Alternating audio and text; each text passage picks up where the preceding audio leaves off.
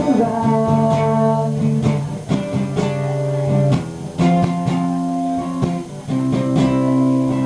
lejos de un milagro ya,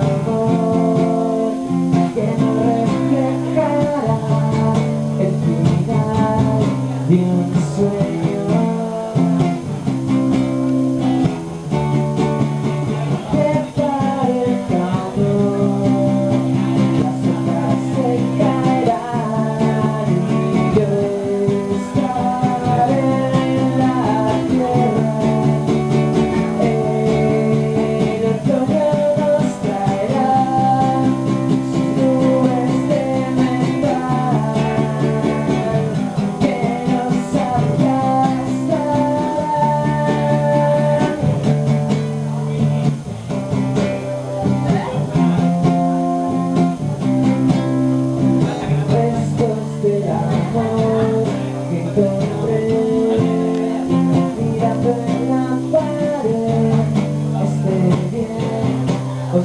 goodbye.